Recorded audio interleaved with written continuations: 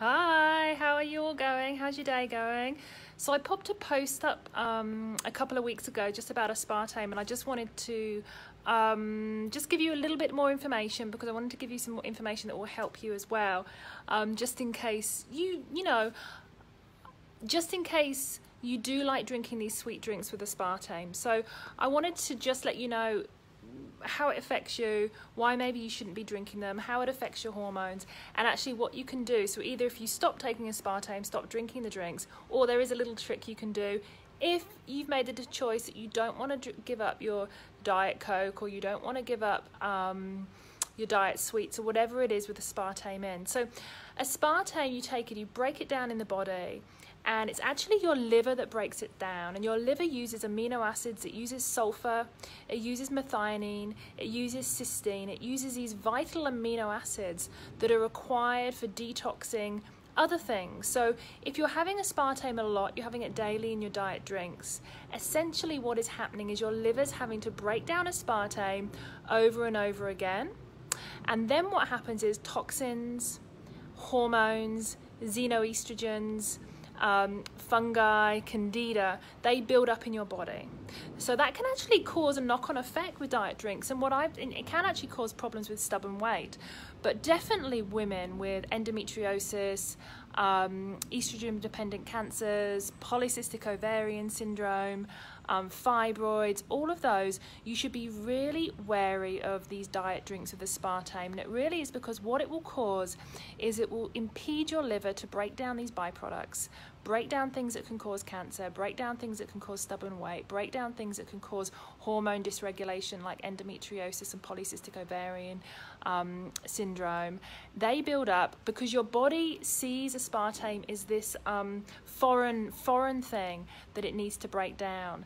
And then what happens is you do become depleted of cysteine, methionine, sulfur, all these beautiful things your body needs to detox. Your liver needs these to detox. So essentially you'll be depleted in these. But one very, very, very important factor, huge important factor, is glutathione. So anyone with autoimmune conditions, anybody with MTHFR, anybody with pain, inflammation, you really need to be careful because glutathione is super, super, super, super important as an antioxidant, reducing homocysteine, supporting joints, supporting inflammation, supporting your heart. And aspartame will deplete this. So, not all is lost. Either you can quit your diet drinks and just take mineral water or regular water um, and do, or even juice, you know, if you, if you want to have something sweet. Or what you can do if you're not ready there, because I have got a couple of clients that are not ready, they've given up alcohol or they've given up coffee and they're not ready to give up their diet drinks. It's a lifelong habit, and I understand that. I totally get it. I'm with you. I've had lifelong habits as well. Um, you know, this life is a journey, but I'm here and I want to try and make things easier for you. So what you can do is actually take liver supplementation. You can take N-acetylcysteine. N-acetylcysteine is an amino acid which is vital for raising glutathione. So what you can do is you can take that each day and it will help to raise your glutathione levels. It will help to raise your um, raise your lower your inflammation sorry and support your liver. Studies show and there are studies so if you've had your liver enzymes tested and your liver enzymes are high and you drink diet drinks you drink NutraSweet um, anything with sweeteners with aspartame in and your ALP is high it's an indication your liver's not working. It could be because of the NutraSweet, because of the diet diet drinks that you're drinking. So they have done studies to show that intake of aspartame raises liver enzymes. And when liver enzymes raise, we get fatty liver, we get weight gain, we get inflammation, and then we can also get um, other problems with the liver as well. So your options are to just stop it, swap it out for mineral water with some lemon, swap it out for mineral water with a dash of um, orange juice even, or if you're not ready to give up your sweet stuff, you could swap it out for a drink that's sweetened with stevia or orange juice or kombucha or something like that or if you're not ready to swap it out at all and you want to drink your um, your diet drinks, then take N-acetylcysteine and supplement with something for the liver to support the liver enzymes. You know, milk thistle is wonderful for the liver, and just give your body the ingredients, the raw ingredients it needs so you don't get depleted from detoxifying the aspartame. So that would be cysteine, um, that would be um, methionine. Methionine is very important. Hey Megs, how you going? Um, you've been putting strawberries and cherries. Yeah, it's it's fantastic. And I and I have to say, it's like um, on these hot days. Um, you know, if you're not a beer drinker or you're not drinking, you're not having alcohol, there's nothing better. What I do is, yeah, I have my soda water, have it in a bit of ice on a hot day at home, and um, either put in a squeeze of orange or a squeeze of lemon, or even, yeah, cucumber in. Um, strawberries and cherries are a great idea and it just makes you feel like you're having a nice drink. It's a little bit of a treat. You get your electrolytes as well, um, and it's also hydrating, particularly if you do lots of exercise like Megan does. She needs to be making sure she's getting her sodium, potassium, magnesium, um, magnesium in. So that was really all it is when it comes to um, when it comes to cleansing and when it comes to aspartame. Be careful if you've got endometriosis, PCOS, MTHFR, COMT autoimmune conditions because the liver is fragile anyway.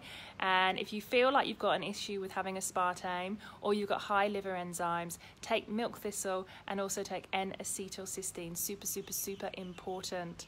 Um, talking about hydration, Megan, it's very, yeah, very important on these hot days. Lots of, lots of, um, lots of exercise to make sure you're keeping your electrolytes up. So either putting a little bit of salt in water, a little bicarb, a squeeze of um, a squeeze of fruit juice in your water, just to keep you nice and um, energized.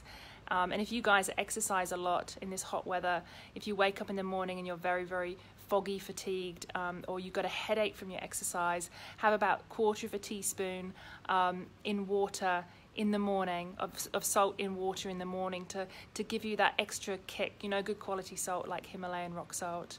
Hi Zohar, how are you going? Nice to see you again. I hope, um, if I remember, you're in um, Canada, I think. I think. Um, so the gallbladder, the gallbladder definitely as well. So if you drink sweeteners, the gallbladder will have an issue as well with detoxifying. So N-acetylcysteine is specifically for the liver. Um, it does help the gallbladder, but it's specifically for the liver to cleanse the liver. The gallbladder, what will happen to the gallbladder is if you drink um, sweeteners, NutraSweet, and things like aspartame regularly, the toxins from the liver, the liver can't process all the toxins. And so what it will do, oh, I knew, I had a feeling, yeah, I remembered.